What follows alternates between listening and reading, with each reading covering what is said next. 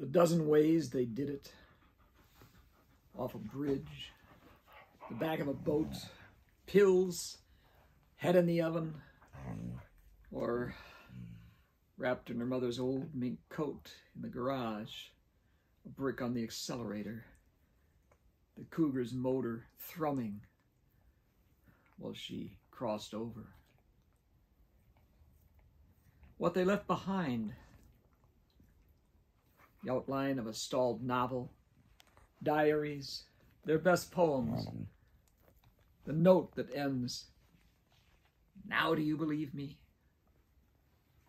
Offspring of various ages, spouses who cared and weep and yet admit relief now that it's over. How they fester, the old details held the light like a stained glass icon. The shotgun in the mouth, the string from toe to trigger, the tongue, a blue plum forced between his lips when he hanged himself in her closet. For us, it is never over.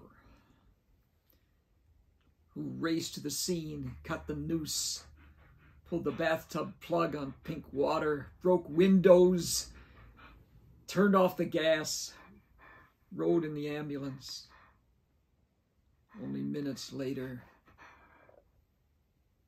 to take the body blow of bad news.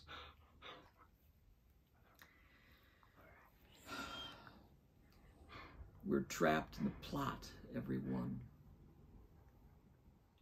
left behind. There is no oblivion.